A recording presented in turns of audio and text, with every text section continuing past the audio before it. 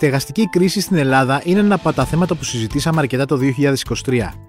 Πώς προκλήθηκε όμως και πώς μπορούν να πέσουν τα ενίκια; Είμαι ο Σταύρος Διοσκουρίδης και ακούτε το Explainer, το podcast του News 24 Κάντε γραφή για να μας βρίσκετε στο Spotify, Stable και Google Podcast. Στο σημερινό επεισόδιο και τελευταίο της χρονιάς είναι καλεσμένη η Όλγα Μπαλαούρα, είναι διδάκτορας αρχιτέκτονας Πολεοδόμος και θα συζητήσουμε για το νομίζω ότι είναι από τα θέματα της χρονιάς, Όλγα, το ζήτημα με τα υψηλά νίκια. Δηλαδή και τα υψηλά νίκια και το στεγαστική κρίση και ότι γενικώς αν αρχίσουμε να ψάχνουμε σπίτι για να βρούμε του χρόνου, είναι πολύ δύσκολο να βρούμε οτιδήποτε, όχι απλά στη γειτονιά που θέλουμε και στη γειτονιά που δεν θέλουμε. Καλησπέρα. Ε, ναι, η αλήθεια είναι ότι η Αθήνα αυτή τη στιγμή είναι στην διεθνή κατάσταση, κατάταξη των ευρωπαϊκών πόλεων η πιο καυτή αγορά κινήτων καταγράφοντας μια, τη μεγαλύτερη ετήσια αύξηση, κοντά στο 12% περίπου. Ε, σε απλούς αριθμούς αυτό μπορεί να αποτυπωθεί στην συσσωρευτική αύξηση των ενοικίων, όπως είπες και εσύ, ήδη από το 2018 έως σήμερα, η οποία κυμαίνεται από το 37 περίπου έως το 42%, δηλαδή ε, μια τεράστια αύξηση, η οποία αγγίζει ε, τους αριθμούς και τα ποσοστά της προκρίσης. Του 2008 δηλαδή, από ό,τι λένε. Ναι, ναι, του 2008 ακριβώς. Με βέβαια διαφορετικά, ε, με διαφορετική δυνατότητα και αγοραστική δύναμη εκ των πολιτών, έτσι, με η συνθήκη. Ε, ενώ σε περιπτώσεις όπως ε, μίσθωσης ε, φοιτητικής κατοικίας, η, τα ποσοστά αυξάνονται πάνω από το 50% ε, να πούμε γνωστά θέματα πλέον στην επικαιρότητα. Ο ένας στους δύο Έλληνες δυσκολεύεται ή αδυνατή να πληρώσει το ενίκιο. Ενώ η Ελλάδα είναι πάλι πρωταθλήτρια και με διαφορά σε σχέση με τον ευρωπαϊκό μέσο όρο ε, με το 32,5 περίπου να είναι αναγκασμένο να πληρώσει περισσότερο από το 40% του, μπορεί και 50% σήμερα, του εισοδήματός του για κόστος στέγασης Πράγμα που για τους ενοικιαστές καρφαλώνει στο τρομακτικό περίπου 75%. Ε, η στεγαστική κρίση σήμερα οφείλεται στην ολοένα και εντυνούμενη εμπορευματικοποίηση της κατοικίας, της ε, μετατροπής της από βασικό κοινωνικό δικαίωμα και αγαθό που θα έπρεπε να είναι σε μια ευνομούμενη πολιτεία ε, και της μετατροπής σε επενδυτικό προϊόν και προϊόν κερδοσκοπίας οδηγώντας αυτό που λέμε χρηματιστικοποίηση της κατοικίας. Ναι, η αλλά... απουσία αριθμιστικού πλαισίου, και αυτό είναι κομμάτι μέρος της κρίσης, τόσο κατά την περίοδο της κρίσης, της οικονομικής κρίσης, όσο και σήμερα. Ε, συνεπικορούμενοι φυσικά με την άνοδο του τουρισμού, ε, δημιουργούν σήμερα, δημιούργησαν και δημιουργούν ευκαιρίες για επενδύσεις από νέους μεγάλους παίχτες που εμφανίζονται στην κατασκευή και τη διαχείριση ακινήτων, σωρεύοντας μεγάλη ακίνητη περιουσία στα πρότυπα άλλων μεγάλων πόλεων. Ε, έτσι, αποτέλεσμα της στεγαστικής κρίσης είναι και ο αποκλεισμός της πρόσβασης στην κατοικία και η δημιουργία χωρικών και κοινωνικών ανισοτήτων και διαχωρισμών. Ε, είναι αυτό που είπατε προηγουμένως ότι ψάχνουμε να βρούμε όχι στην περιοχή που θέλουμε, αλλά και στην περιοχή που δεν θέλουμε. Ε, δηλαδή, οδηγούμαστε σε, σε χωρικές πολλώσεις πια. Ε, έτσι, ε, η οικονομική κρίση, η άνοδος του τουρισμού και η καθήλωση, εκεί είναι το κλειδί, καθήλωση εισοδημάτων, ευθύνονται για τη στεγαστική κρίση με, και μέρος της κρίσης αυτής είναι και η πλήρης απουσία στεγαστικών πολιτικών προνοιακού χαρακτήρα που εκλείπουν ε, από την Ελλάδα. Ε, να ρωτήσω κάτι. Φταί, επειδή το έχουμε, φταίει για όλα το Airbnb σε αυτήν την ιστορία ή είναι ένα κομμάτι αυτού του, όλων αυτών των παραγόντων που περιέγραψες μόλις; Το Airbnb όπως και η Golden Visa, ε, δηλαδή η μετατροπή της, ε, της κατοικίας σε τουριστικό προϊόν, είναι ένα μέρος της όλης αιτίας της κρίσης, των αιτιών της κρίσης. Όμως είναι ένα τεράστιο θέμα το οποίο αντιμετωπίζουν ε, πάρα πολλές πόλεις στον κόσμο και στην Ευρώπη και, το, και ένα νέο, αν θέλετε, ε, δεδομένο στην ε, αύξηση της κρίσης της στέγης διεθνώς. Οι αιτίες για την κρίση στην Ελλάδα, για τη στεγαστική κρίση στην Ελλάδα είναι πολυπαραγοντικές.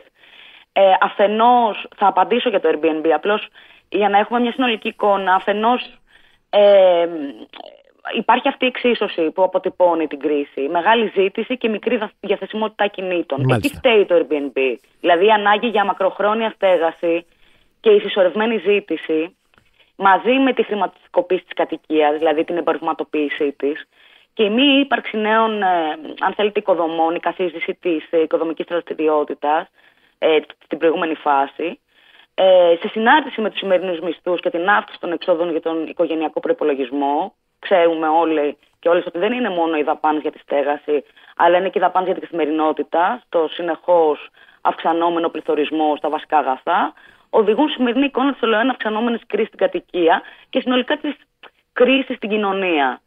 Ε, Επίσης, η υποτίμηση των τιμών ακινήτων κατά την περίοδο της οικονομικής κρίσης ε, οδήγησε πολλούς ιδιοκτήτες στην απότομη αύξηση των ζητούμενων ενοικίων ή στη διοχέτευσή τους σε πλατφόρμες τύπου Airbnb, αποστερώντας έτσι από την αγορά κατοικίες για μακροχρόνια χρήση και αυξάνονται τις τιμές για τις τελευταίες η υποχώρηση φυσικά της αγοραστικής δύναμης των πολιτών.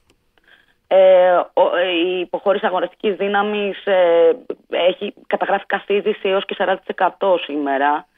Ε, και αυτό είναι εμφανές και στην υποχώρηση του ποσοστό ιδιοκατοίκησης στη χώρα μας που έπεσε τελευταία περίπου 20 χρόνια, υποχώρησε κατά 11% ε, σύμφωνα με τα στοιχεία της Eurostat. Ε, και φυσικά ως αποτέλεσμα της χειροχτέρευσης της οικονομικής κατάστασης των πολιτών και κυρίως των νέων.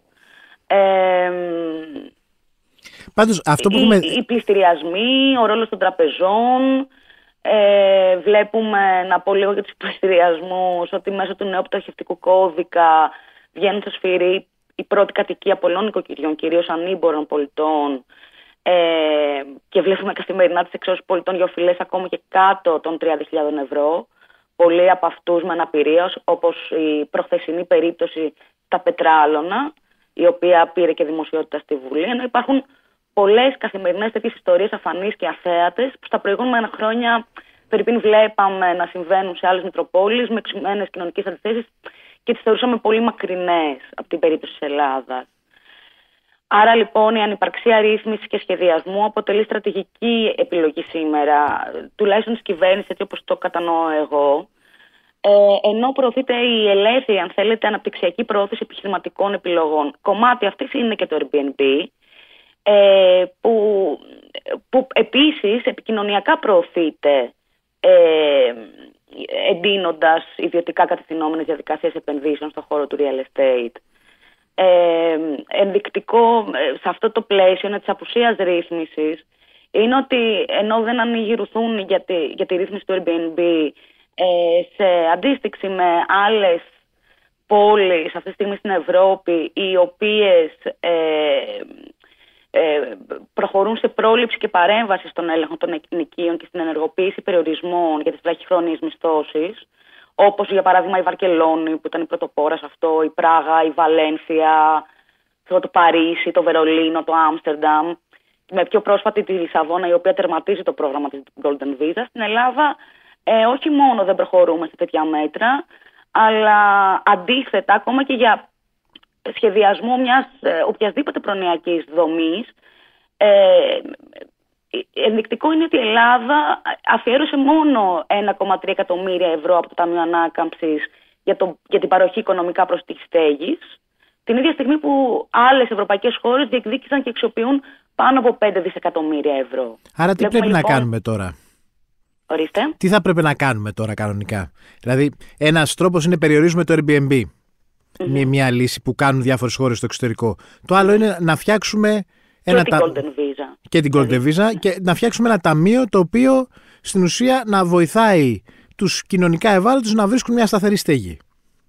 Ε, νομίζω ότι το ζήτημα της, ε, της ε, πρόσβασης στην οικονομικά προσωπική κατοικία και στο δικαίωμα στη στέγη ε, πρέπει να αφορά όλο τον πληθυσμό. Ε, νομίζω ότι η σημερινή συνθήκη επιβάλλει τη θεσμοθέτηση της ε, κοινωνικής κατοικίας ε, η οποία φυσικά θα, θα υπάρχει θα, και, την, και την παροχή προφανώς προσιτής κοινωνικής κατοικίας ε, σύμφωνα με, με όρους κοινωνικής, περιβαλλοντολογικής δικαιοσύνης και βιωσιμότητας, αυτό που λέγατε για την για τις περιοχές. Ε, πρέπει οι άνθρωποι να μπορούν να μένουν παντού, να μην πολλώνονται περιοχές, να μην υπάρχουν περιοχές μόνο πλουσίων, μόνο ναι. φτωχών. Να υπάρχει μια ε, μίξη, κοινωνική μίξη στο, στα χωρικά περιβάλλοντα. Μια συμπερίληψη, μια διατομεακότητα που είναι μια, ένας σύγχρονος όρος για όλα αυτά τα ζητήματα. Ε, δηλαδή δημιουργία κοινωνικού αποθέματος στέγης με έμφαση στην προστή ενοικίαση ε, και με, με, με, σταδιακή και στοχευμένη ανάπτυξη τεραστικού αποθέματος και αξιοποίηση ακινήτων ε, μέσω της οικειοποίησης της δημόσιας γης, την παραγωγή κοινωνικής κατοικίας από το δημόσιο ή από συνεταιρισμούς, μια πρακτική που συμβαίνει σε άλλες ευρωπαϊκές χώρες. Ε, Κάποια στιγμή δεν θα αναγκαστούν να γίνουν όλα αυτά. Δηλαδή, ακόμα και ας πούμε στη Μητρόπολη του καπιταλισμού που είναι η Νέα Υόρκη, αναγκάστηκαν ας πούμε, να διώξουν το Airbnb. Ναι, ακριβώς. Ακριβώς. Καλά, βέβαια, εκεί είναι, παίζει το και το λόμπι των ξενοδοχείων, το οποίο πιέζει προφανώς προς αυτή την κατεύθυνση. Αλλά και η Βαρκελόνη, ας πούμε, που είχε ένας κορεσμός τουριστικός και το Airbnb ήταν ένας βασικός λόγος που συνέβη αυτό ο κορεσμός, στο τέλος της ημέρας πήραν δραστικά μέτρα απέναντί ε, του. Ε, ε, Επίτηδες προηγουμένως ανέφερα πόλει σαν την, ε, όχι μόνο σαν τη Βαρκελόνη, που είχε μια δημοτική αρχή, η οποία ας πούμε ήταν. Ε, ξεκίνησε από το κίνημα εναντίον των εξώσεων και το, το κίνημα της διεκδίκησης για την πρόσβαση στη στέγαση. Ε, θα αναφέρω εδώ και το Λονδίνο, δηλαδή η Μητροπόλης του Καπιταλισμού, που αυτή τη στιγμή μπροστά στα, στα οξυμένα αυτά κοινωνικά ζητήματα προβαίνουν ε, σε, σε, στην δικτύωση απέναντι σε, σε τεράστια συμφέροντα, όπως είναι αυτά το Airbnb αντίστοιχων πλατφορμών, το Montreal συγκαταλέγεται μέσα σε αυτές τις πόλεις, η Σιγκαπούρη, α, όπως είπες πολύ καλά εσύ, η Νέα Υόρκη, το Άμστερνταμ. Θέλω να πω ότι υπάρχουν τέτοιες... Ε, υπάρχει, υπάρχει αυτό το, το προηγούμενο. Ε, ενδεικτικό είναι ότι ας πούμε, η Λισαβόνα, η οποία ε, αυτή τη στιγμή ξεπερνά στην αύξηση των ενοικίων ε, πόλεις όπως ας πούμε, το Μιλάνο, ή το Παρίσι, ή, τέλος πάντων πόλεις που ε, παραδοσιακά είχαν πολύ αυξημένες τιμές ενοικίων, ακινήτων συνολικά, ε, προβαίνει σε φραγμό, σε τερματισμό της Golden Visa, σε περιορισμό στην αύξηση του ενοικίου για τις νέες συμβάσεις και επικαιροποίηση ενοικίων από παλιές συμβάσεις μίσθωσης με βάση τον πληθωρισμό. Ε, με, με, με, διάθεση κονδυλίων τεράστιων, ε, τεράστιου ποσοστού για την οικονομικά προσιτή στέγαση ε, με φορείς όπως οι συνεταιρισμοί, οι δήμοι, οι φιλανθρωπικές οργανώσεις, οι άλλοι φορείς κοινωνικής αλληλεγγύης.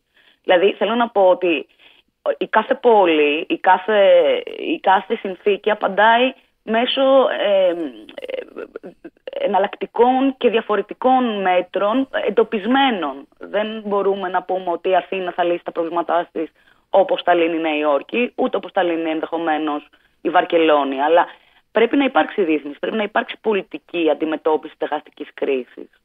Μάλιστα. Όλγα, σε ευχαριστώ πολύ. Και εγώ, καλή, καλή συνέχεια, για χαρά. Ήταν η Όλγα Μπαλαούρα, διδάκτορα αρχιτεκτονικής και πολεοδομίας. Στον ήχο ο Θανάσης Κοτούλας. Ακούτε το Explainer, το podcast του News 24 στο Spotify και τα Apple Podcast.